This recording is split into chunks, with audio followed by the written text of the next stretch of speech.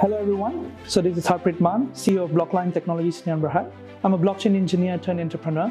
And together with iTrain, we will be bringing you a cryptocurrency masterclass. This masterclass is designed for beginners. Together, you and I will be exploring what are the fundamentals of cryptocurrencies, the origin story, the technology powering it, and the things you should know before getting into cryptocurrencies. So we'll also be touching on how to use cryptocurrencies and how to trade them.